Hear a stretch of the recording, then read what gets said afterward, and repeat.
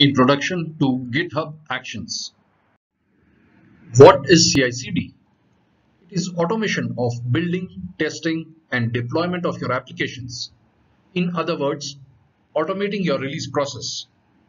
As you can see in the diagram, primary components of such a process are code repository, building, deploying, and your deployment targets. This process may be kicked off based on events an example of an event would be a person checking in code into the code repository. And as a result of that, a build might be initiated. So all of this put together is called a CI/CD pipeline.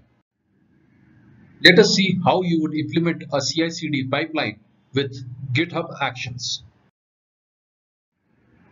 The source in this case would of course be a GitHub repository. To build and deploy, you have GitHub Actions. GitHub Actions are YAML files. And you may be deploying to one or more environments. So how do you set up all this? You need to write a GitHub Actions workflow YAML file. Within your GitHub repository under .github workflows subdirectory, you can define your workflow in YAML files. At a high level, the YAML file will have events and jobs sections. Let's go over each section one by one. On keyword is used to define the events which will cause the jobs to be executed.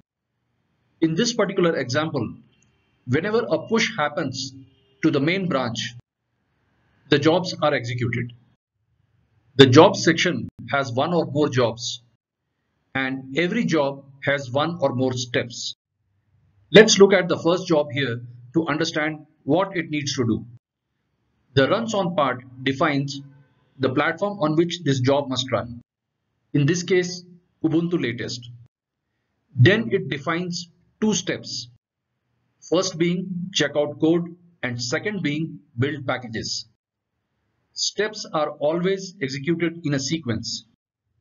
The checkout code step uses a ready-made action called checkout, which is available in GitHub Actions Marketplace. The GitHub Actions Marketplace has many such ready-made actions for common tasks. You can use one of them or write one of your own. So checkout is nothing but another YAML file in GitHub Actions Marketplace. The second step here is to build packages. Here we are running a shell command npm run build. Therefore, steps can either invoke other actions or run shell commands. The second job also needs to run on Ubuntu latest platform. It has two steps, install and test. In both the steps, we are running shell commands. So where do these jobs run? The jobs are executed in runners. Runners are nothing but machines with GitHub Action Runners application installed. These machines are provided by GitHub or you could use one of your own. It's important to remember that jobs can run in parallel while steps within a job always run in a sequence. However, you can create a dependency between jobs to run them in a certain sequence. You can create complex workflows in this fashion. That was a quick introduction to GitHub Actions.